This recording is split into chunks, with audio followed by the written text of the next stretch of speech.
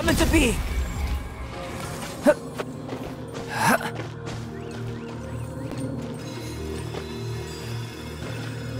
This should be enough Star Splinter Iron. Now we just need to find that Subrosium. I think I saw a village on our way here. Master Zhong said we should ask the locals for help. Why don't we try there?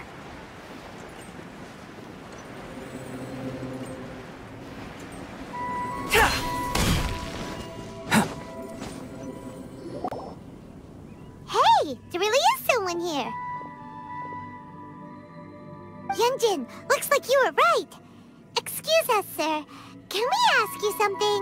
Ah, Huh. He didn't seem to catch that. Hello, sir.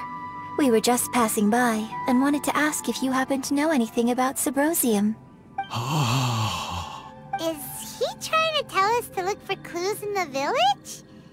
Well, whatever. Guess we're on our own here. Shenhe, Yunjin, let's have a look around. Sorry, you can go ahead without me. I'd like to have a word with this gentleman, if that's okay with you, Uncle Mingjin. It's. It's. Shen He. Shin. huh? You're alive. The rumors were true. So, all these years? I'm sorry, I don't know how to find Subrosium. But I think you can find some information in the village. This place is deserted now. No one ever comes here. So you can rummage around all you want. Huh? You know this guy, Shenhe? Uh, Thank you, kind sir. We'll go and take a look around. Don't worry. Mingjun has no ill intention towards Miss Shenhe. She'll be quite safe. Okay, then let's see what we can find in this village.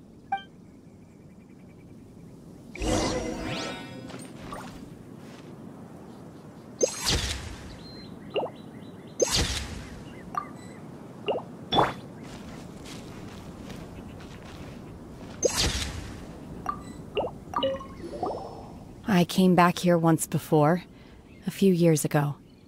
Alone. I hid it from Master at the time. It was deserted then, too, except for a few low-life bandits. Everyone and everything I remembered was long gone. But as people were passing by, they stopped to admire me. Hmm, they praised me, telling me I gave off the aura of an Adeptus. I tried explaining to them that I wasn't an Adeptus, just an ordinary person who came from this village. Hmm, But no one believed me. When I saw how run down all these houses were, I felt at a loss. It was like I took a look at the world, and on the surface, it looked like a vast realm with so many places I could go. Then I looked a little closer, and there was nowhere for me to go at all. Suddenly, so much time has gone by. Everything. Last time I visited, I felt so upset. But today, I don't know why, but it feels different. It is easy for your mind to run wild when you are alone. But this time, you are with your friends, aren't you? Yes, my. my friends.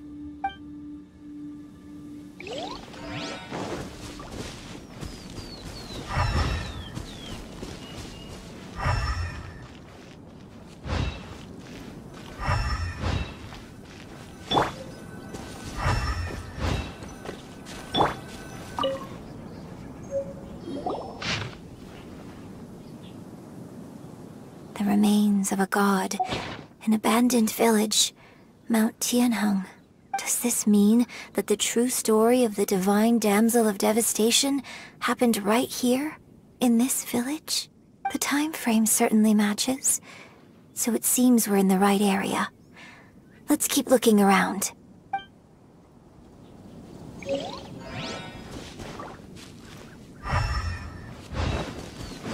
Yeah.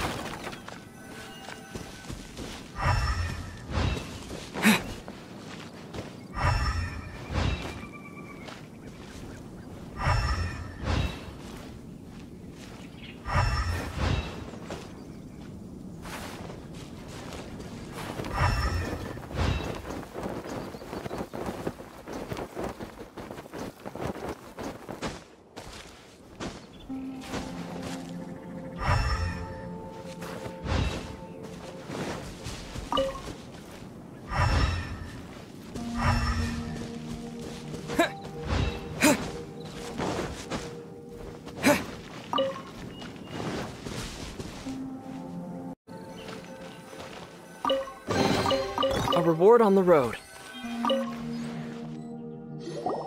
Huh. What's this?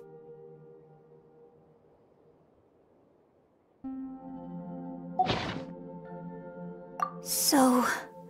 Shenhe is the divine damsel? Now that I think about it, she does behave rather like an Adeptus, and she is about the right age. So that's why I've been getting the strangest feeling whenever I chat with her. I should have noticed it earlier. According to this text, the divine damsel from the opera was actually the daughter of the loving couple. And she didn't volunteer. She was sacrificed to the monster by her own father.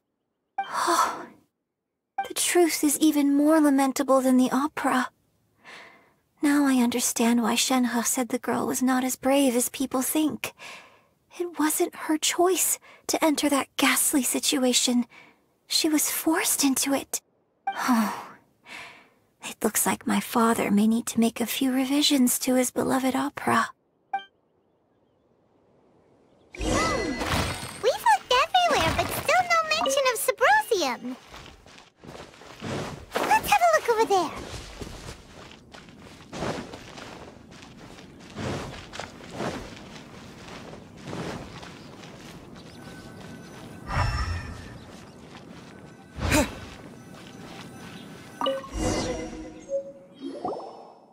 This is it!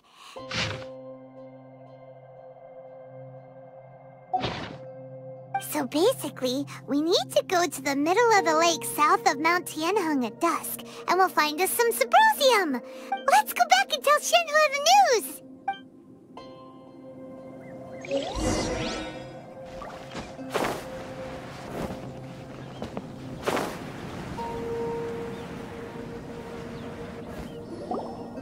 One year when I was back visiting, I heard a story about a white-haired adeptus from a merchant passing by.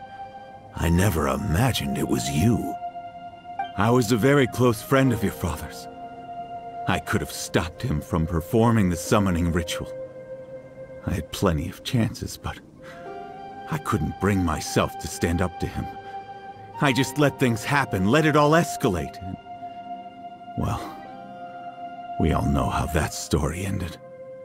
I bring flowers back here every year. And each time I wish I had a chance to apologize to you. Apologize for what? If you'd stopped him, he'd only have found another way. There is nothing he wouldn't have done for his true love. Nothing. Do you still hate him? I don't know what I feel. I'm told my fate is to bear the curse of calamity, so my master bound my soul with red ropes to curb my aggression. But it also dampened my emotions, making me dispassionate, like the Adepti. So if you ask me how I feel about the past, if I hate my father or not, the truth is, I feel nothing at all. It must have been so tough for you all these years. Shenhe, we're back!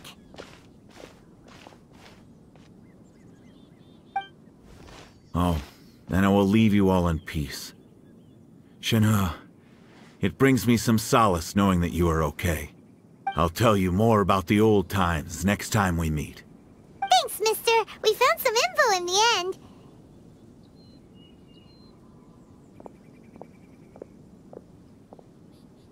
Shenhe, look!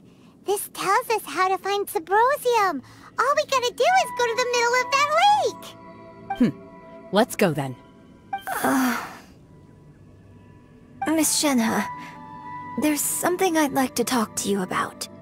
Just now, in the village, we found your father's diary. It turns out that many of the details in the Divine Damsel of Devastation are not true to the facts. So I'd like to change them. Why? I know I say that opera always deviates from the truth, but now that the main character is standing right here in front of me, I cannot simply dismiss your lived experience in favor of my father's fiction. It's okay. I like your version. But, uh, My master once said that the day I learn how to use my strength for the good of others is the day that I can truly become part of human society. So, I hope that one day I might be brave enough to stand up and protect others, just like the girl in the opera. But I've never thought this way before, and I wonder whether I will continue to think in this way. Don't worry. I believe you will. In fact, I think maybe you've already started to become the person you aspire to be. You just haven't had the opportunity to see it for yourself yet. Shenhe! Yunjin! Cut the chit-chat! Let's go! We can't let someone else beat us to it!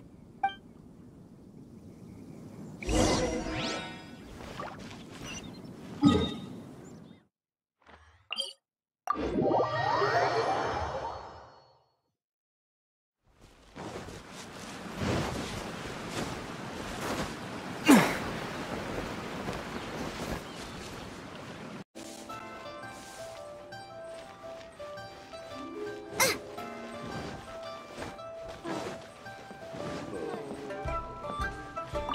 Astra Abyssosque. Ad Astra Abyssosque. Welcome to the adventure.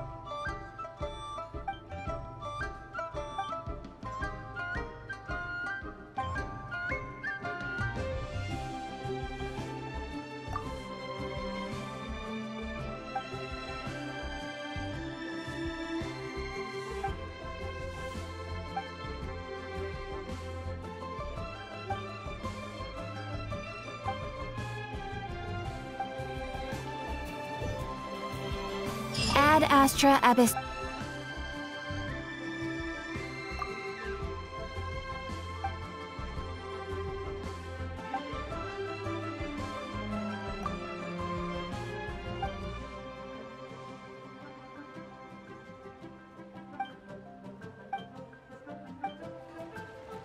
Ad Astra Ab.